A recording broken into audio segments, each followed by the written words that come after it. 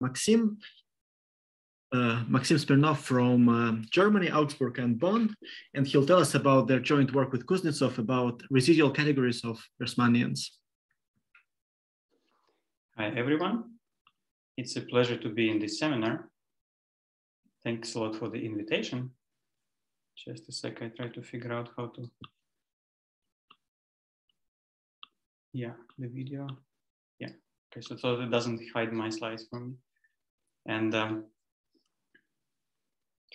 yeah, so let's, uh, I realize that this topic is, uh, I some of you might have seen me speak about it and, uh, or maybe have seen Sasha speak about it. And I try to, to take maybe slightly different angle in this, in this talk. I hope it like maybe talk a bit more about quantum cohomology too. And I hope, uh, well, it makes sense in the end. And despite the fact that the talk is being recorded, I I encourage you to ask me questions, interrupt at any point, and yeah, just just do it. Okay, so let's uh, let's start. So this is uh, the title. Based the talk is based on the joint work with Sasha Kuznetsov, and let's oops, let's uh, yeah. So let's uh, discuss first as a motivation and to put it kind of in a general perspective, something called Dubrovin's conjecture. So maybe some of you are familiar with that, but let's recall. So our setting is we take X to be a smooth projective Fano variety over the complex numbers. And there is a conjecture by Boris Dubrovin, stated at ICM in 98, that says the following, that the derived category of coherent sheaves, the bounded derived category, has a full exceptional collection if and only if the big quantum cohomology of X is generically semi-simple. This is the first part.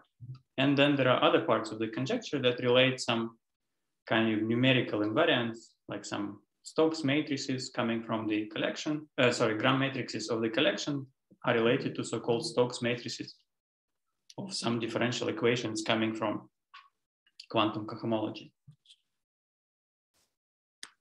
And well, as a remark, so this conjecture can be motivated or explained by sufficiently optimistic formulations of the homological mirror image. And uh, well, as you can see, we have this big quantum cohomology here, and usually, I mean, I don't have to recall what is a derived category in this seminar, and also not what an exceptional collection is, but I would like to recall what this big quantum cohomology story is. So let's let's uh, let's talk about that for a while. So again, we start, we have X smooth projective Fano over the complex numbers, and we put additional assumptions. Picard of X is Z, and there is no odd cohomology. This is not strictly speaking necessary, but just to simplify notation, we will do that. And uh,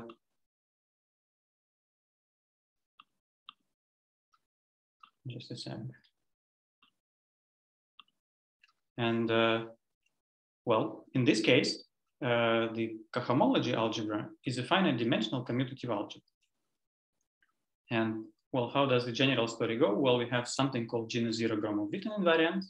They allow you to deform the classical product on the cohomology. And the deformed product is called quantum product. Let's be a bit more precise. Let's give a definition.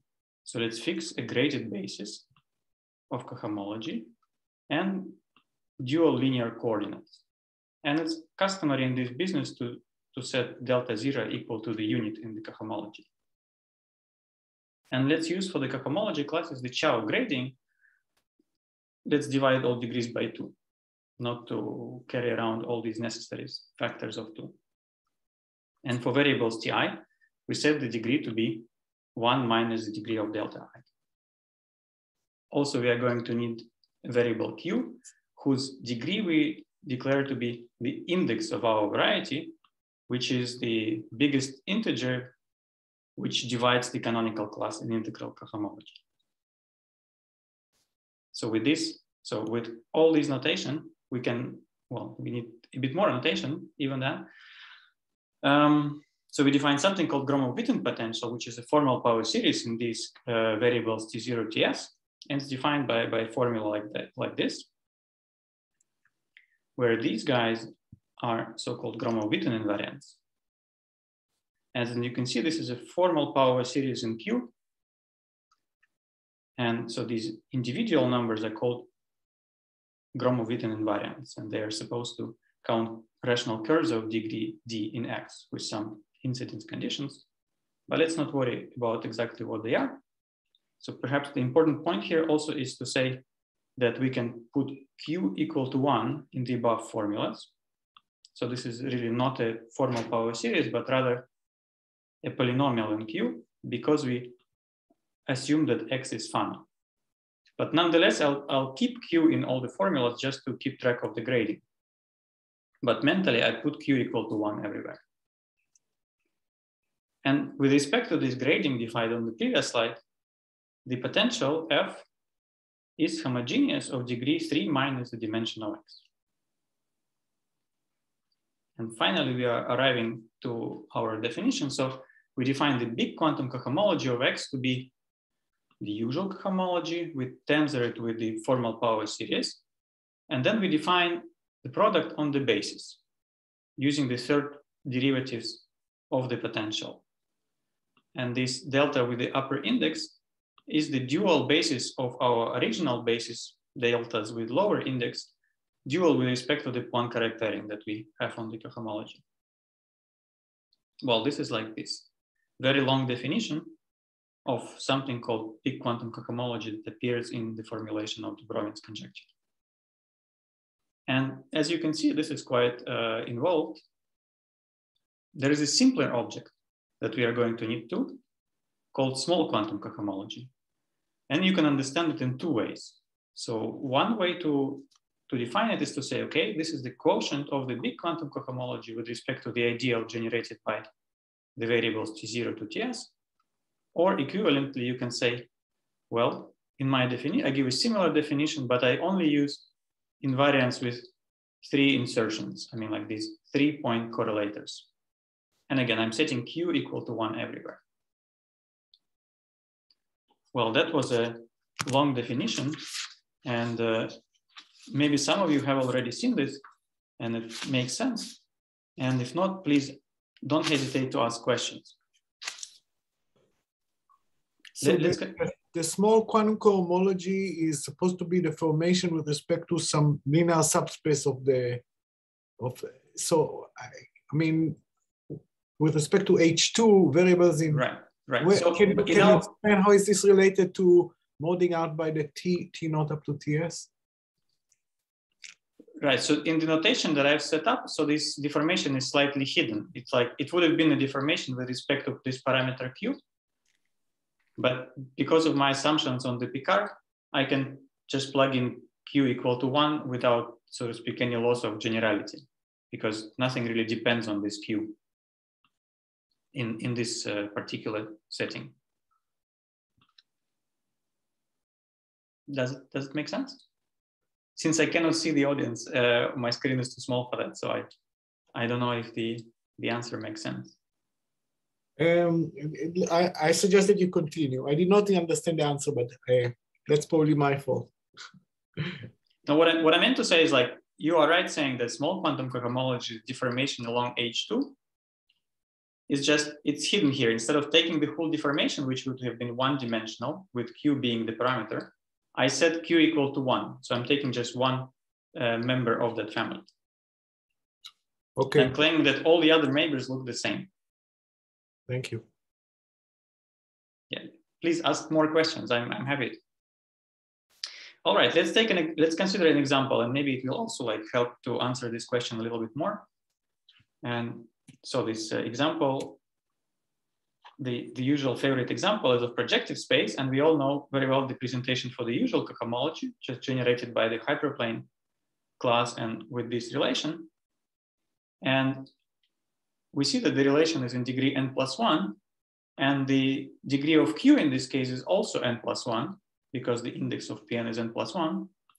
And because of all the homogeneity of this setup, we, we need to simply find the homogeneous deformation of the original relation and what is written here is up to a constant, the only possible deformation using the parameter q of the original relation.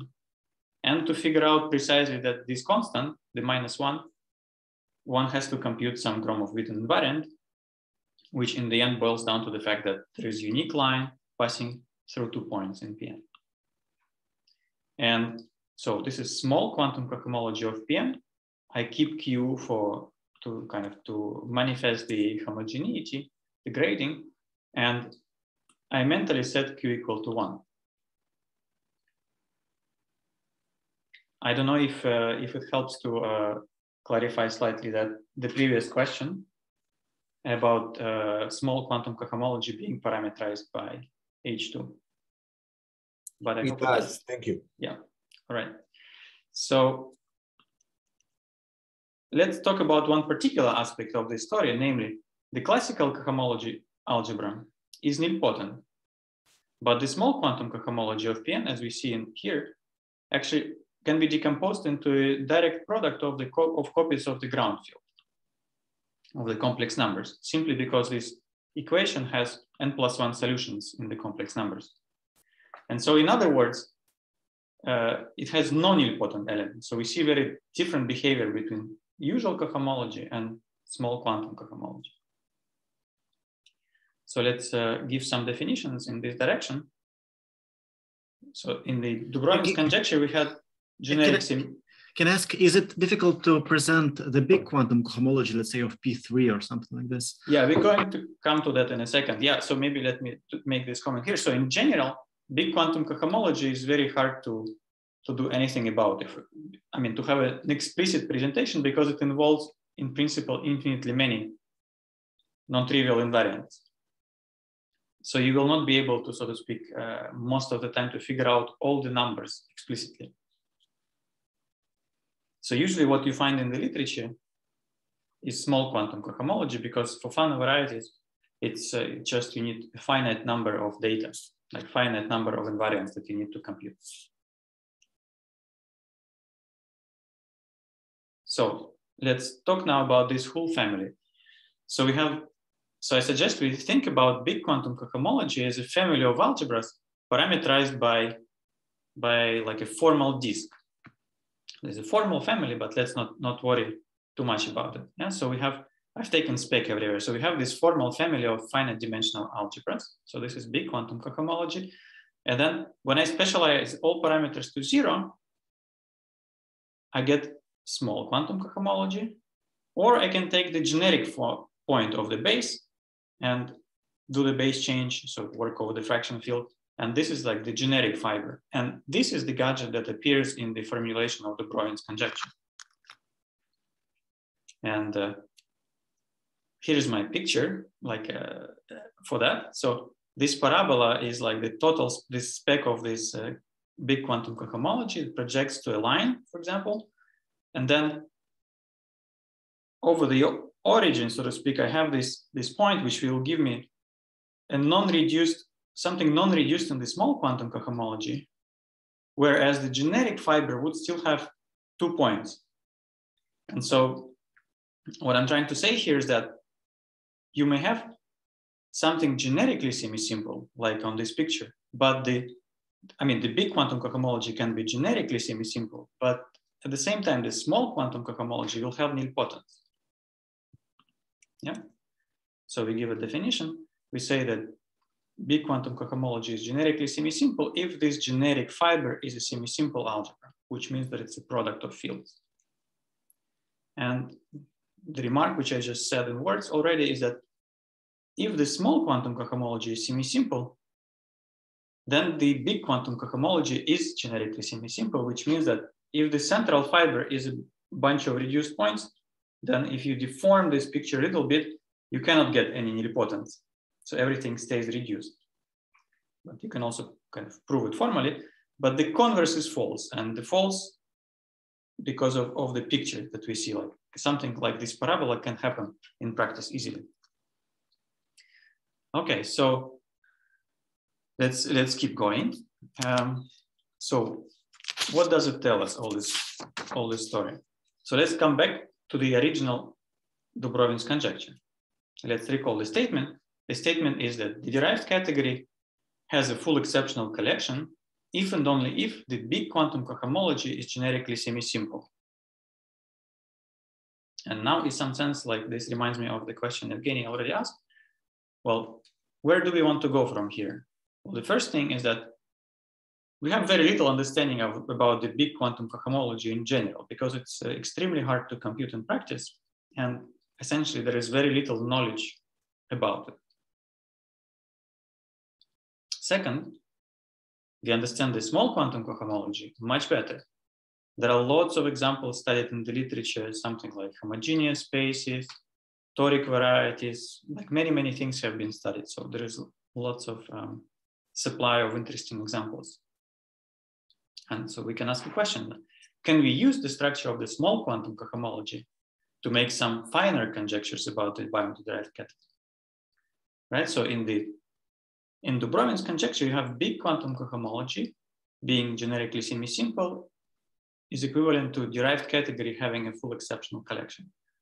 But maybe like if we work here with the small quantum cohomology instead, we maybe can kind of predict something perhaps slightly finer than just having any collection. And well, sort of an answer to this question is that Lefschetz collections seem to work very well to answer questions of this kind. And basically the purpose of my talk is to try to give an idea what this means and illustrate in some examples. Okay, so uh, let's let's recall what exceptional uh, Lefschetz collections are. Well, I decided not to recall what exceptional collections are. Do I need to recall that? Please, please tell me if I need to recall that.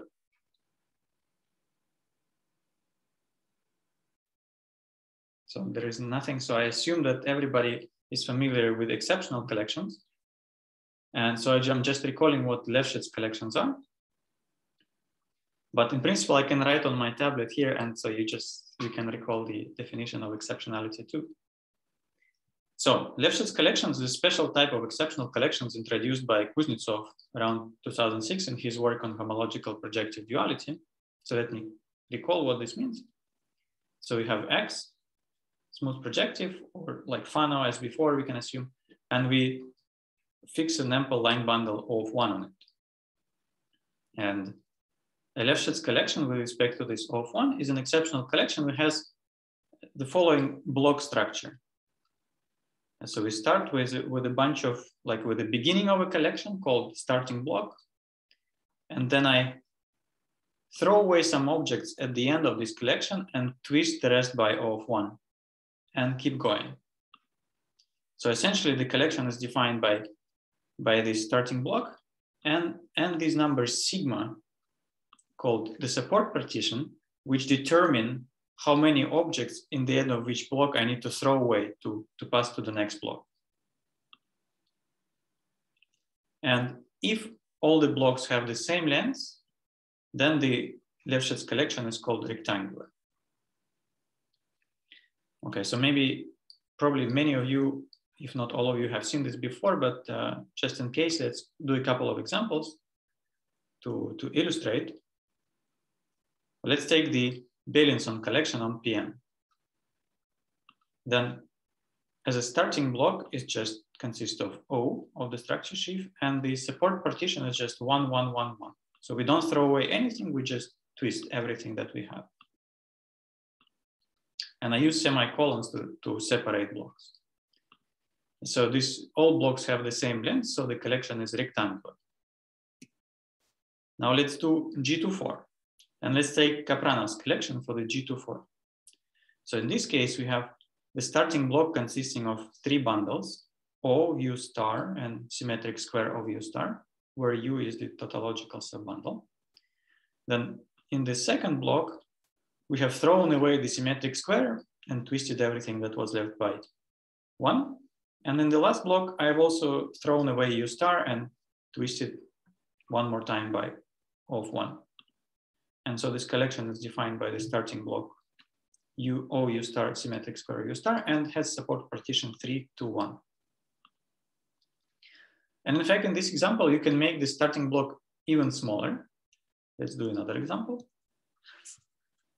Uh, namely, it's enough to take O and U star, but then of course we have to modify the support partition. Namely, we can take two, two, one, one, which means that I take O and U star, then I twist both of them by one, and then I get rid of the U star and just keep O and twist.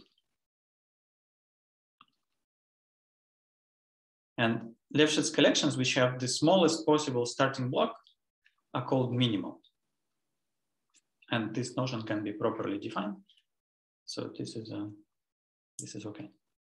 So can, can ask for Grassmannian to sure. four to four. So supposedly all full exception collections are in the same orbit of under mutations, right? But it's not known in general. Like this two, yeah, for example. They... I'm not sure if it is known even in this case. Ah, whether they differ by mutations. Ah, no, no. I, I mean, uh, so what I mean, like in general, if, if for G24 they differ by mutation, in this case, uh, but also on top of my head, I don't know for these two collections, but uh, yeah, this probably one can try to figure out.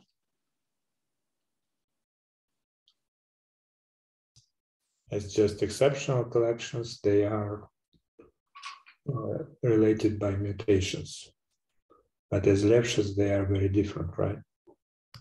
As Lefschetz, these two collections are very different. Yeah, so they have uh, like, well, for us, the important thing is that this, the, the pattern of how things get twisted by O of one, as we will see in a few minutes, is, is very different in a sense. Like here we, have, we start with three objects and then we throw away one of them and then we throw away another one. And here is we- it clear uh-huh. Is it clear that there is no, uh, how you call it, starting block of two, but with partition two, two, two? Uh, I don't think it is a priori. But for, for, there, are, there are, I think there are no general reasons to ex exclude that, and uh, but I don't know like an example where of an example of a collection in this case where this is indeed the the uh, the pattern. Okay.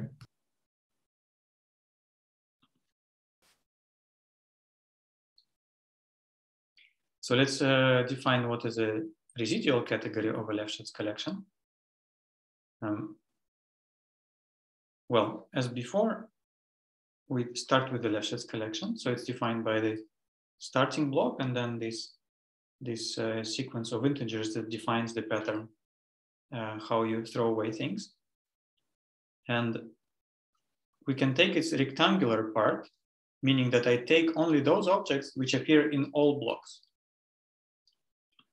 And we define the residual category just to be the orthogonal to that. So in the end, we have such a semi-orthogonal decomposition. I have this rectangular part,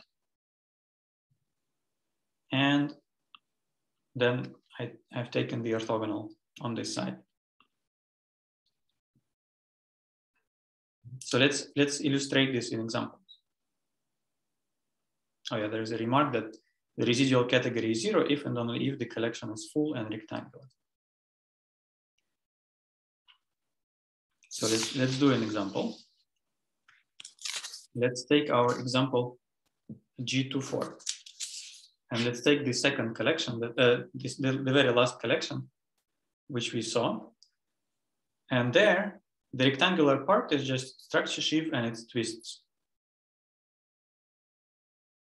And so what is left, so to speak, are these objects that are highlighted in red, this, the tautological bundle and its twist.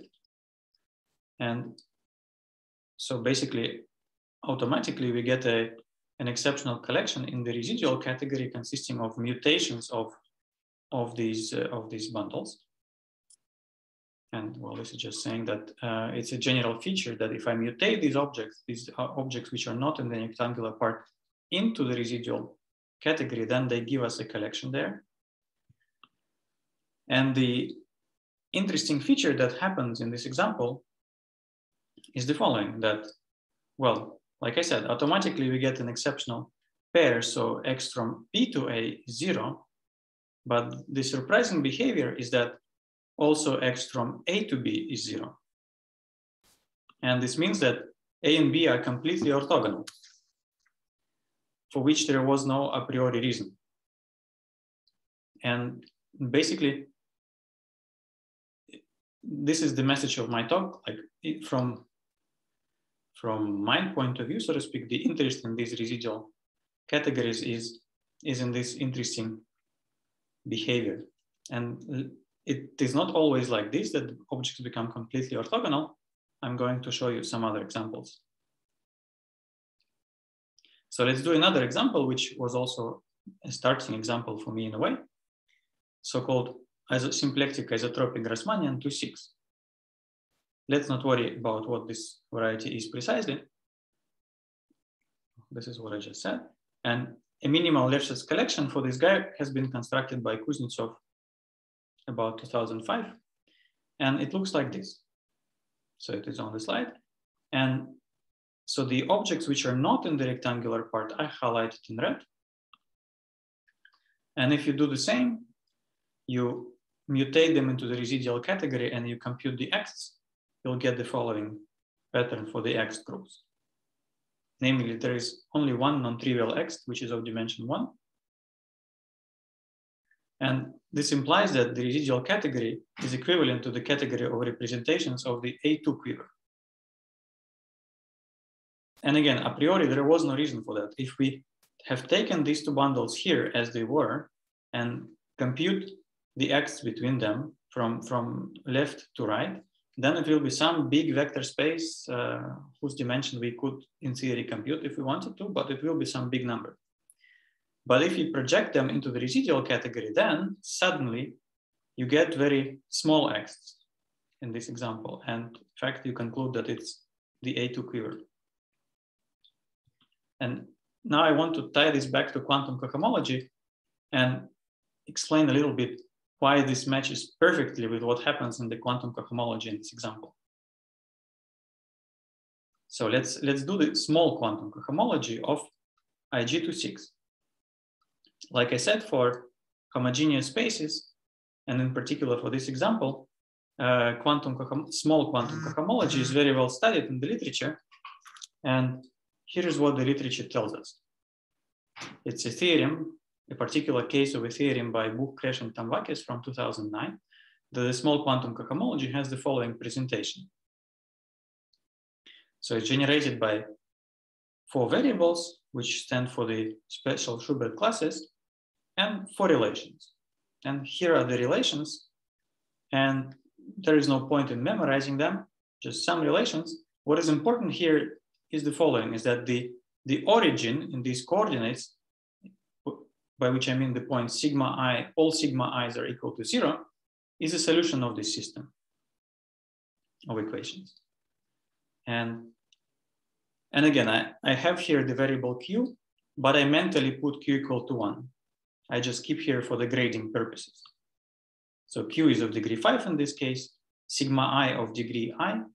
So this term has degree six, and this also has degree six, and this has degree six. So everything is homogeneous. And so what is so interesting about this example is, is it's the structure of this algebra. Namely, let's discuss it. So this algebra is not semi-simple, which means it has nilpotent elements. And let me show you what they are, or what is the structure of these nilpotent elements. Well, how can we see that? Well, in fact, it's very simple in this case even though one must confess that we are a bit lucky. So we view this as the algebra of functions on the finite set inside C4, on, like maybe of fat points. So I'm taking the spectrum of this algebra, in other words. And then the origin, as I already said, is a solution of the system. And so we can just compute the Zariski tangent at that point by looking at the linear terms. And, and it happens to be of dimension one.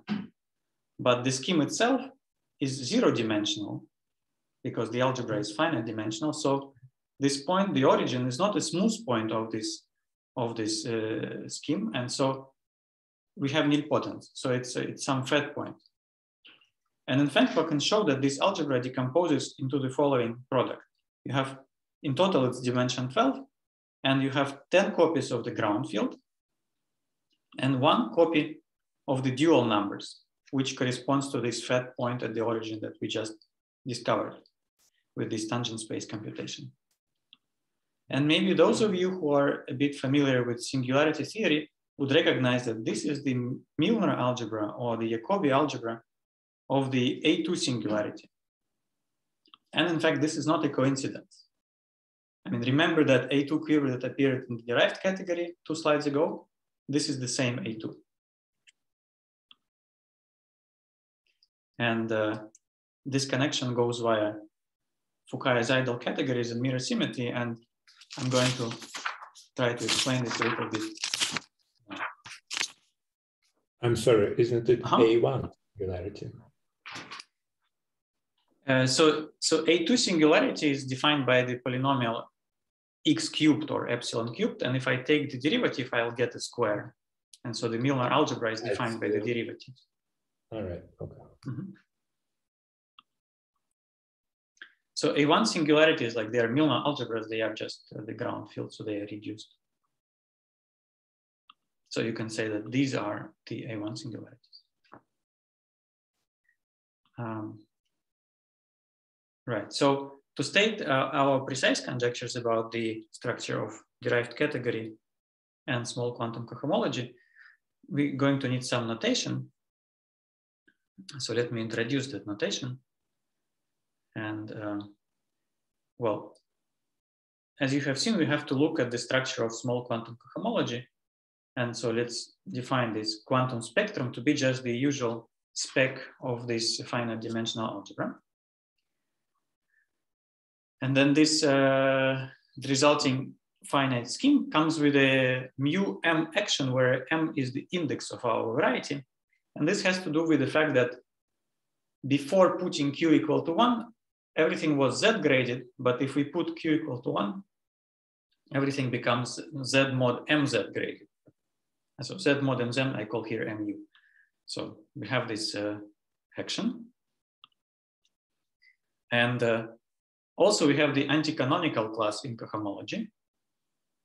And uh, as a vector space, small quantum cohomology is the same thing. And so I get a map from the quantum spectral to the affine line.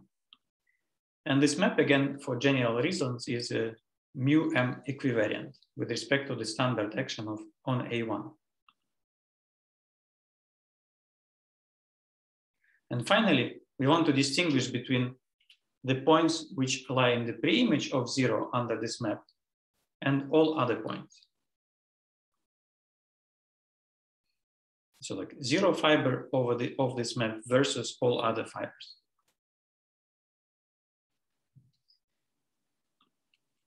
And maybe a remark for, for those of you who like Landau-Ginzburg models, and you should think like this. Uh, the scheme QSX this quantum spectrum, you should think of it as the critical locus of your Landau-Ginzburg model. And for this, probably you should assume that all the critical points of your Landau-Ginzburg model are isolated. And the map, and this map corresponds to just the map defined by the Landau-Ginzburg potential restricted to its critical locus.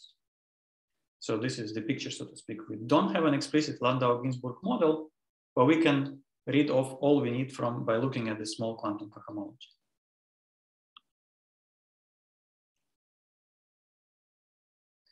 And now we can uh, we can state uh, the conjecture that we have is that is the following: is that well, let's restate Fano variety of index m in our previous assumptions, and let's assume that we have generically semi-simple big quantum cohomology so that according to Dubrovin's conjecture, we can in principle expect uh, to have some full exceptional collection in the derived category. Then we make the following slightly finer predictions about the structure of the derived category. Namely, well, we say that there exists an exceptional collection of in the derived category of length k, where k is the length of this of this scheme divided by m. So, so recall from the previous slide, this was all the points of which were not in the central fiber. So the, the locus which was outside the central fiber, and we divided by m, by the index. So we think morally that this part corresponds to the rectangular part of the collection. And second part, the residual category of this collection, which means like I have this rectangular part and I just take the orthogonal. And this is what I call residual category here. It has a completely orthogonal decomposition into pieces R sigma, uh, R zeta. So uh, zeta. No, this letter is called xi, right? So sorry, R xi, where xi is uh, are points of this central fiber of the map defined by the anti-canonical class. I mean, closed points, in principle, they can be non-reduced by like they can index the components and and the, the each individual component is generated by an exceptional collection whose length is prescribed by the uh, kind of the corresponding algebra at that point xi. And uh, QS well, is a small quantum cohomology, right? Can you say it again, please? What is QS? So, so we took small quantum cohomology and okay. took its spectrum as a as a like as a ring. So let's, let's go back one slide to the setting just to recall the notation and then I come back. So we we take the small quantum. It's, it's okay, I understand. Yeah. Mm -hmm. okay. mm -hmm. Yeah, yeah, it's a a lot of notation which unfortunately disappears uh, when the slide is changed. Okay, so okay. All right, uh, and uh, yeah, so well, there is this conjecture. Now, what is the evidence for this conjecture? Or maybe first we, we uh, discuss some remarks about the statement. Namely, let's, uh, let's recall what we had in our examples before. Well, first, the, the kind of the simplest possible case, in a way, is when the small quantum cohomology is semi-simple. And in this case, this, this uh, like the central fiber is consists of reduced points and automatically the residual category should be generated by a completely orthogonal exceptional collection whose objects are indexed by the closed points of the central fiber. Right, let's go back. So, so in this semi-simple case, each piece is just generated by one object. And we say that this, so these components are completely orthogonal. So this is just a specialization of this statement. And this is this is happens, uh, for example, for the ordinary Grassmannians, where we know that the small quantum cohomology is semi-simple. It is not quite true that we know uh, this conjecture in this case, but I will tell more uh, what is known about that for Grassmannians. But what about these, compo these individual components, ARC-C? because the conjecture on the previous page didn't say anything about them. Well, in general, one expects these components to be equivalent to the Fukaya-Seidel category of the corresponding critical point of the of some Landau-Ginzburg model for our variety. And uh, so as such is not very precise what, what I'm saying here, but at least if you have some Landau-Ginzburg model, then you might uh, have a guess what to expect. And in some cases, uh, you, you can even get this expectation without it, without the Landau-Ginzburg model, namely, namely for so-called coadjoint varieties, which is also this IG26, which we had before. It's a particular example. So this is a special type of homogeneous spaces, G mod P, and in each Dynkin type, there exists, there exists exactly one variety, or, which is called coadjoint, whatever the precise definition is. And let me just show you in classical Dynkin types what they are in types BCD. So in type B, these are the usual quadrics. In type CN, we have uh, symplectic isotropic Grassmannians of two planes. And in type DN, we have orthogonal Grassmannians of two planes. And in this example, we have the following feature is that the central fiber of quantum cohomology has just one point, and this point quite often happens to be non-reduced point. And with this Fukaya-Seidel uh, intuition, it is natural to expect the following to be true, namely that the residual category has just one component. This is part of the conjecture on the previous slide, but moreover, this component is in fact equivalent to the representations of some quiver. And what is the quiver? And the quiver has the following funny description, namely, you should take the Dynkin diagram of your group G, which defines your homogeneous space. So for example, Cn in, uh, in the example Ig 2 to n. And then you should take the subdiagram of short roots. And so for Cn, you get an minus 1. And recall that for IG26, we had C3, and so you should get A2. And this is exactly what we had in the example for a few slides ago. And uh, yeah. So are there any questions about the formulation and these remarks? Short roots, uh, was that length two? So let, so the short roots. So let's so I can draw on my slides. So uh, so let's draw the Dynkin diagram in this case. So for Cn, I'll draw it here. So we have so Dynkin diagram looks like this.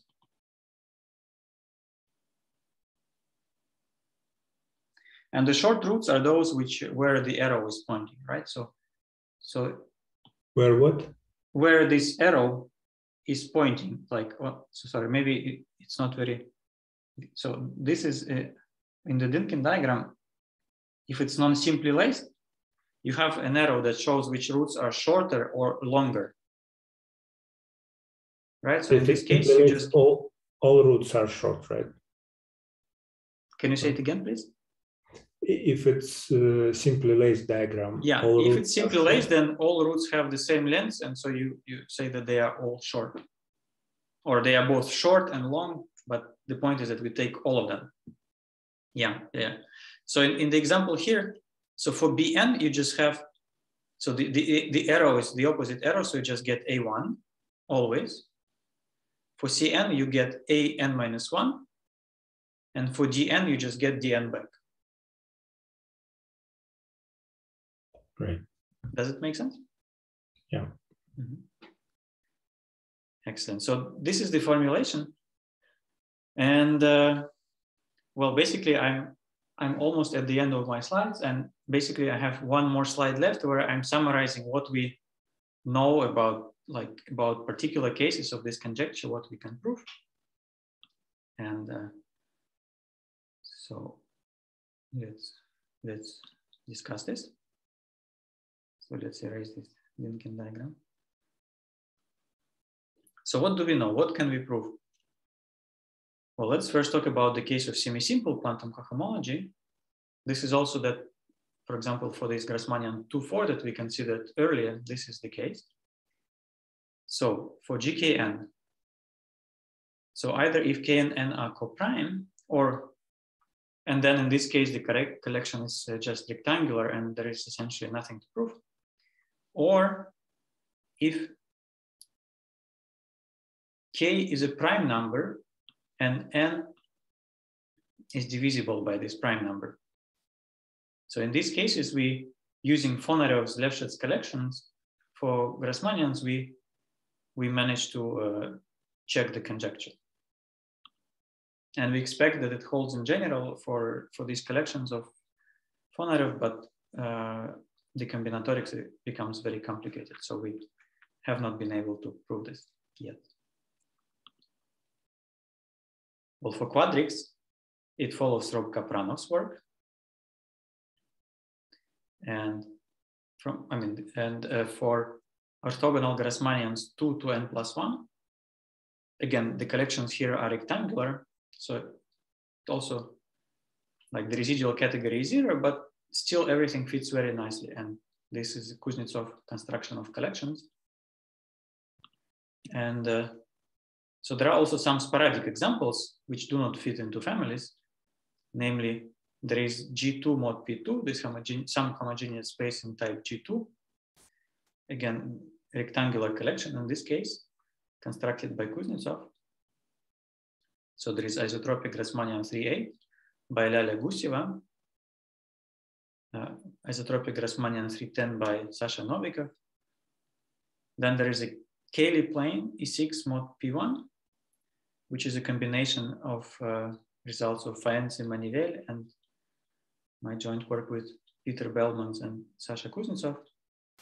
And also for the isotropic Grassmannians 4, 8, and 5, 10, they should also follow from what is known from the works of Polishchuk and Samokhin and Fonarev, but as far as I know, it is not written down anywhere. I think the case of the first case, G2 over P2, was uh, my student Maxim Razin, who constructed the collection. This it's may very well be the case. Hmm? This this may very well be the case. I remember we, I think, even talked about it at some point, but mm-hmm. uh, I think I either could not or did not find the reference. I don't know if he has written anything about that. But uh, yeah, thanks. Yeah, he wrote his diploma thesis. And uh, uh, there is one more example uh, in type F4, so-called adjoint Grassmannian in type F4 but, by myself. But sorry, but he, did, he didn't prove that the, the collection is full. I mean, but probably back then there was no uh, notion of Lefschetz collections, but I believe that probably what he constructed was Lefschetz anyway. Yeah, yeah, it was Lefschetz. Uh, it was just yeah. two line bun, uh, two vector bundles, and then it's twist by by by two.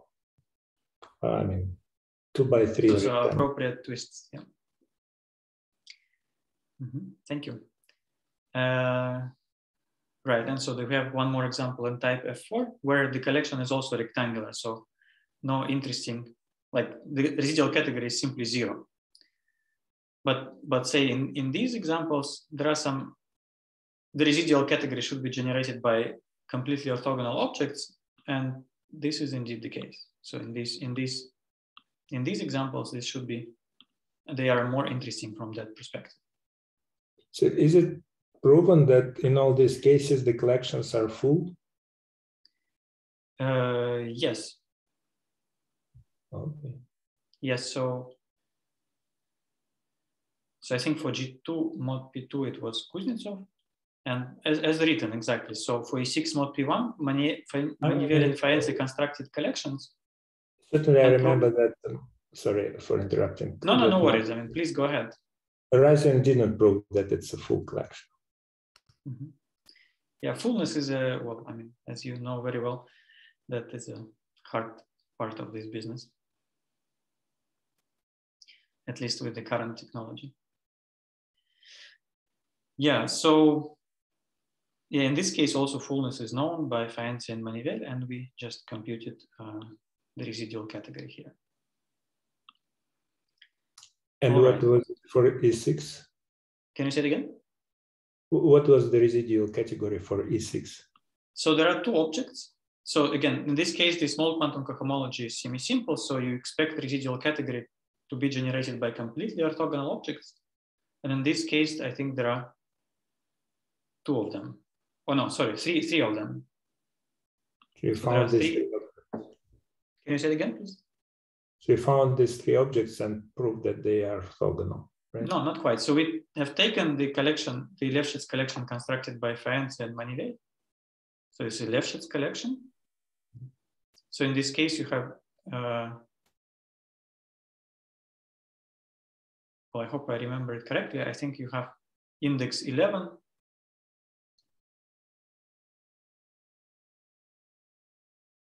You have index 11 and you have rectangular part, uh, which is generated by two objects. So you have like 22 objects and then you have uh, three more, like you have another object in the first Streisand block and it appears with three twists. I mean like it object itself and then twisted by O of one and O of two. And so if you kind of compute the mutations of these objects into the residual category, you can um, compute the the Ext between them and you see that they are completely orthogonal. So essentially we computed this. this.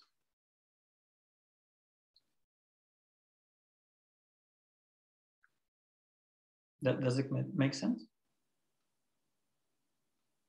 Mm, I didn't follow. Did you check that they are orthogonal or not? Yes, yes, yes, absolutely. So, so we checked that they give completely orthogonal uh, objects. Yeah. So the, the mutations of, of, the, of, of the extra objects, which are not in the, in the rectangular part, mutated into the residual category, they are completely orthogonal. Okay. And maybe let me mention a couple of examples where which are not semi-simple, which we know. Namely, this is the example of isotropic Grassmannian 2 to n, which we already discussed a little bit. So the collections and the mutations were computed by, by Sasha Kuznetsov. And you get the quiver A n minus one. And for the isotropic, uh, for the orthogonal Grassmannian 2 to n, this is a joint work with Sasha. And we get the expected quiver dn, like I explained on the previous slide, that we should expect the quiver, which is given by the short roots of the diagram. But since we are in type dn, everything is short. And so we just get dn. And uh, excuse me, by isotropic, you mean skew symmetric form? So he, this is skew symmetric and this is symmetric. Okay. And uh, we know one more example, which is sort of isolated, namely in type F4, the, uh, the so-called coadjoint again variety in type F4.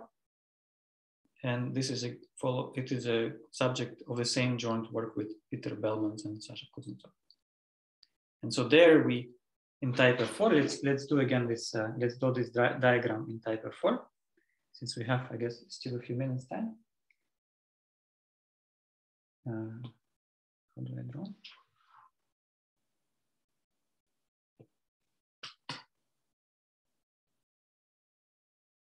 For some reason, I cannot write on my slide anymore. Can anybody else write on my slide? Maybe it's just I, I couldn't do it before. Yeah, I don't know how to do it. But anyways, I don't know why, but some, for some reason I, it, it doesn't, maybe it's just my, oh yeah, now it's working. So I think it just was my tablet was hanging there. So now it's okay. So, so let, let's do it in, in, uh, in F4. So the Dynkin diagram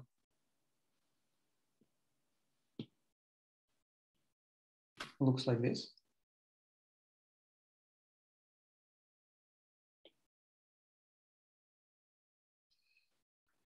And now we have to think which way the arrow goes. And I, uh, right now, I don't remember on top of my head, but it's either goes one way or the other way, but it's here. So it's either, either like this or like this. But for our answer, it will not matter because either way, if we take the short root, so let's, so let's just, so then, then we would just get what happened? Yeah, this drawing is not working very well somehow, but so so with this uh, arrow, we would get these two, and so we would get A2. And this is exactly what we get. So in this last example, we get uh, the, the, residual category is equivalent to the representations of the quiver of type A2. I'm sorry, the first light uh, vertex is not um, short root. So let me quickly check uh, the uh, F4, which way the, the arrow goes. And then we,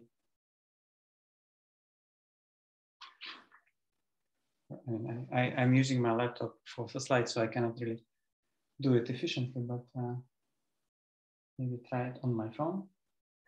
And yeah, so I actually had the arrow in the right direction, surprisingly. So let me put it in the right place. Oh.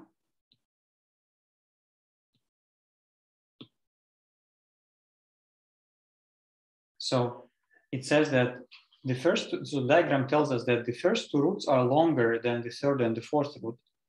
So if we take the short roots, what is left is the third vertex and the fourth vertex, and so we get a quiver of type A2.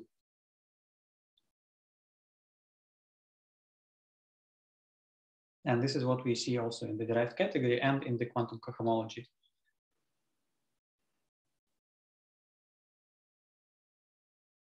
Yeah, well, I guess I should stop here. And thank you all for the patience.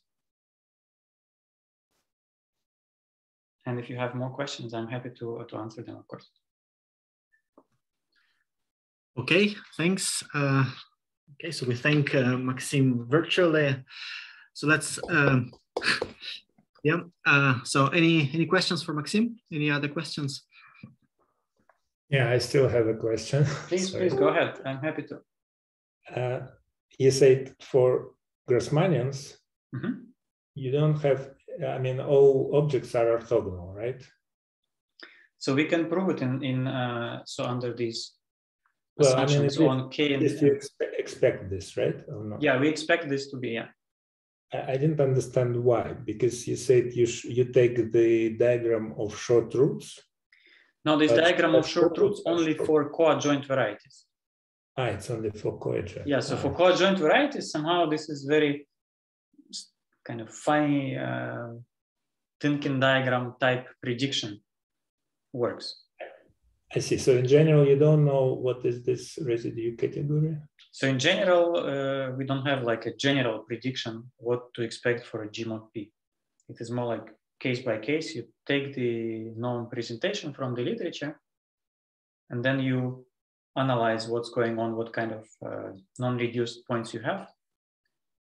And this fact, this, this Dynkin diagram uh, story, I mean, with the short roots, it's a part of a joint work with Nicolas Perrin, where we analyze what's happening in the in the quantum small quantum cohomology of coadjoint varieties. And we accidentally, so to speak, discovered this fact by just doing it case by case in all Dynkin types. And the small quantum cohomology in these cases has already been previously studied by, by Nicolas and, and his uh, co-authors, I mean, more precisely by Chaput and Nicolas Perrin, they have studied small quantum cohomology of adjoint and co-adjoint varieties. How, how about minuscule varieties? Minuscule varieties, they, they uh, well, I mean, uh, for them, the small quantum cohomology is semi-simple. And so they would uh, fall into this first uh, category on the slide, like cases with the semi-simple small quantum cohomology. Mm. So residual category should be orthogonal? Yeah, it uh, should be generated by completely orthogonal collection. For example, this Cayley plane, which is uh, mentioned on the slide, it's, uh, it's an example of that. Mm-hmm. But this behavior is not, uh, so to speak, reduced to uh, minuscule cases because like this IG38 or 310, they are not uh, neither minuscule nor cominuscule. They are something, but they still have the same behavior. There's a question from Arend in the chat. Are there any examples for non-homogeneous varieties? Yeah, that's a good question. I mean, at present, all our examples tend to be homogeneous, but it would be very interesting to have more also non-homogeneous examples. But yeah, at present, I have to say no. All our examples with interesting uh, properties are homogeneous. Probably you could do tor something toric, so lots of things should be yeah. known. Yeah, yeah, yeah. one should, uh, one should definitely try toric things. So like when you go into higher Picard rank, you have to be slightly more careful what you're doing. So what I explained today was the Picard rank one, and this kind of is very. I mean, you don't have to think too much, so to speak, in a way, like about what you where which way you are going. So if your Picard rank is higher, you have to be careful what you do about quantum parameters and in small quantum cohomology. And uh, uh, mm -hmm. I mean, example of what? I mean, you have, you have an exceptional collection on V22, it's six dimensional family and the generic uh, variety there. is not homogeneous, right? Yes, but the pattern for V22, if I remember correctly, so it's index uh, one. One. Or am I, am I mistaken? Index one? Yeah, yeah, index one. So you'll have, I mean, there'll like, it will be an example of, of, of this, but perhaps not very interesting in the sense that like you would not get some interesting residual category, which kind of give you more manifestation for the conjecture. So in, in, in V22, I believe you have a, like a, um, I mean, there, like if you have index one, then essentially everything is just your first block and like you don't see any, any like additional symmetries which you would like to, uh, like uh, uh, between which you would like to see the parallel between quantum cohomology and derived category. That does it make sense what I'm saying? Yeah. So we, like more interesting are examples with higher index so that you can really see like these orbits uh, in of critical points or in this quantum cohomology correspond to the same thing in derived category under the action of O of one, like in these Lefschetz collections.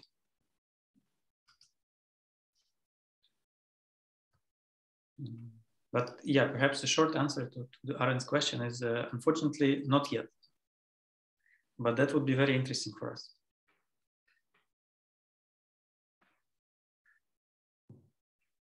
So yeah, okay, thanks. So any any more questions? So we plan to consider uh, to continue discussion in GatherTown. Maxim, can you come for for a short for a little sure, while? Sure, yeah, I will come. So as you explain, I just need to click on the link. So